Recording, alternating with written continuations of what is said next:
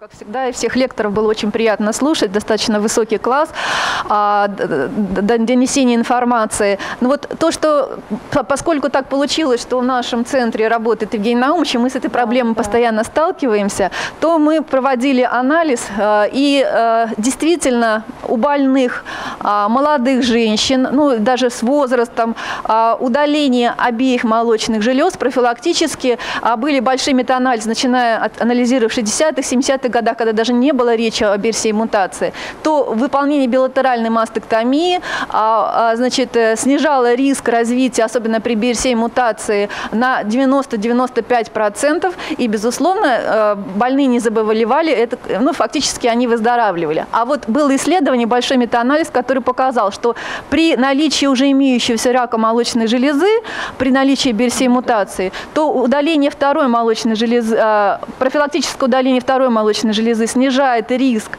развития в ней рака молочной железы, э, приближается там, к 70-80%, а то и к 90% случаев. Но э, исследования, которые были опубликованы, они показали, что это не влияет на, на а, выживаемость, на выживаемость от, от других причин. Да. Ну, воз, возможно, но я как-то не очень представляю, как могли вот такие э, а, исследования с таким длительным фоллоуапом быть, там 20 лет, предположим, да, если BRCA мы определяем всего ну ничего, да, вот так, так сказать, плотно, да, и то не во всех, не там, во всех как бы Там центрах. анализировали наследственный, наследственный М? анамнез, наследственный а, просто анамнез. наследственный У больных, анамнез. да, с тягощенным наследственным анамнезом по раку молочной железы и раку яичников, и начиная с 60-х, 70-х годах, там достаточно активно женщины... Просто клинически, когда выяснял, да, да, они готовы поняла, шли на поняла, удаление да. молочных желез и, и яичников, то вот эта вот процедура, она снижала, э, то есть они не заболевали, не заболевали раком молочной раком. железы по сравнению с той популяцией, которая вот это не выполняла. Но учитывая, учитывая, что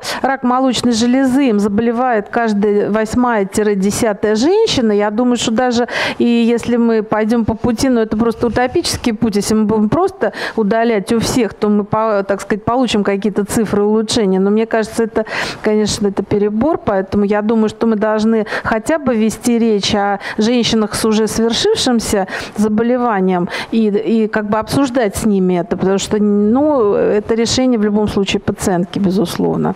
Но при свершившемся заболевании частота уменьшается, это точно. Угу.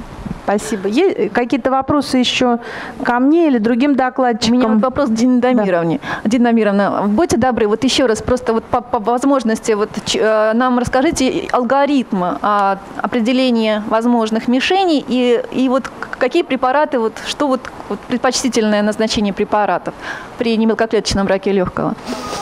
Аденокарциноме.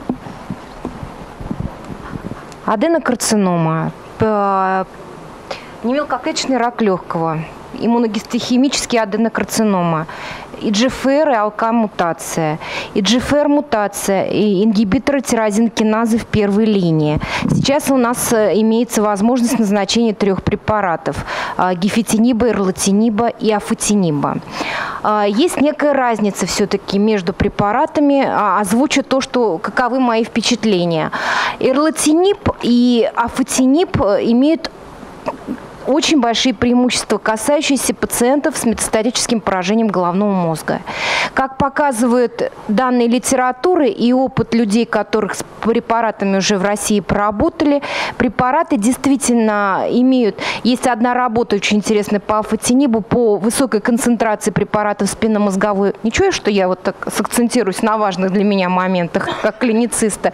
Э, концентрация высокой препарата спинномозговой жидкости, достаточно высокая терапевтической, и она действительно доказывает, что препарат реально контролирует метастатическое поражение головного мозга, и э, эта опция, на мой взгляд, чрезвычайно важна. Э, препараты третьей генерации, которых мы, которые мы ожидаем, а, они э, на подходе. Я так подозреваю, что все-таки ближайшие два года нам дадут препараты. И алгоритм терапии пациентов с ингибиторами тирозинкиназы в настоящий момент может выглядеть следующим образом. Это назначение ингибиторов тирозинкиназы первого поколения. В случае прогрессии переход на препараты третьей генерации. А затем э, в случае прогрессии на препаратах третьей генерации назначение химиотерапии. Либо от обратного. Сначала третья, у меня, я максимально сократила презентацию. У меня был очень красивый слайд, который показывал эти три подхода, которые имеют место быть. Либо назначение ингибиторов тирозинкиназы третьей генерации в начале. В случае развития прогрессии короткий интервал назначения химиотерапии, потом возобновление приема препаратов первого поколения. В общей сложности при таких подходах мы где-то около года для пациентов выигрываем. А, на что бы еще хотелось обратить внимание, что а, в силу экономической ситуации мы действительно крайне быстро отказываемся с вами от э, ингибиторов тирозинкиназы в случае, когда, я уже говорила, мы фиксируем а, парисист прогрессию. Действительно, э, статьи убеждают в том, да и, к счастью, есть личный опыт. Мы за 10 э, лет отличили более 100 пациентов. Он показывает, что при индолентном течении, при индолентном прогрессировании мы можем при, получить еще прибавку в жизни пациента иногда до года. Это важно. Теперь, что касается маркеров резистентности Т-790. Мы с Марат Гордеевичем с Казанью в две республики э, затеяли такое исследование российское. Я думаю, что в ноябре мы уже сможем о нем хорошо рассказать и много. Я не думала, что у меня будет возможность сейчас об этом сказать. А, а, мы говорим о маркерах резистентности и прежде всего о Т-790М. А, те данные, которые мы получили на... Учитывая, что методика достаточно дорогая, мы набрали группу из 30 пациентов. А, лабораторные условия предоставляет э, Татарстан. А мы в силу экономической ситуации получили возможность, мы сделали программу по лечению рака легкого и получили 30 миллионов денег, которые позволили нам закупить ингибиторы тирозинкиназы. И мы имеем возможность пациентам, э, тем э, пациентам, у которых HGFR-мутация выявлена, в первой линии сразу же по факту назначить ингибитор тирозинкиназы в первой линии. И вот именно на этих пациентах мы и э, отслеживаем маркеры резистентности, э, наличие мутации ЦИ. Причем мы работаем не с, и с блоками, и с плазмой, что чрезвычайно важно.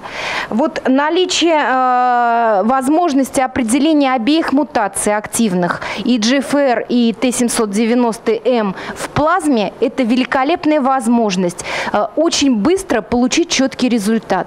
Поскольку э, мы часто видим пациентов с достаточно тяжелым ЭКОК, когда фактор времени начала терапии не может быть отложен и затянут, э, этот анализ в плазме крови можно сделать в течение двух суток. Для нас это, на мой взгляд, колоссальное достижение. Причем э, работы показывают, что корреляция между тканью и плазмой составляет порядка 94%. Это великолепный выхлоп для тех пациентов, которые могут правильную терапию получить сразу же в короткие сроки в первой линии. Говоря об ЛК-мутированных пациентах, э, ситуация в России гораздо сложнее. Да, мы сейчас э, в, случае отсутствия EGFR-мутации э, идем дальше, определяем ЛК-мутацию, но процент ее невелик, к счастью, это 4-7% от общего пула пациентов с аденокарциномой. Но ведь доступность препарата кризотинип, который не входит ни в какие списки, она невелика. И на самом деле только те э, крупные центры, которые имели возможность поработать с препаратом э, в клинических исследованиях, могут о чем-то, о своем опыте говорить. Вот в Республике Башкортостан всего три человека кризотеню получают, понимая, какова стоимость препарата и какие, какое дополнительное финансирование должно быть, мы все понимаем, что это является основным препятствием. Ну и, естественно, те пациенты, тот пул пациентов, которые э, имеют аденокарциному, аденокарциному, но при этом она не, не имеет драйверных мутаций, получает стандартную химиотерапию. Конечно, предпочтительный э, режим пиметриксет цисплатин. Но все мы понимаем, опять-таки, стоимость этого режима. И, например, мы э, в рамках тех денег, которые нам дополнительно выделены, имеем возможность лечить всего 12 э, человек в год. Это действительно колоссальные средства.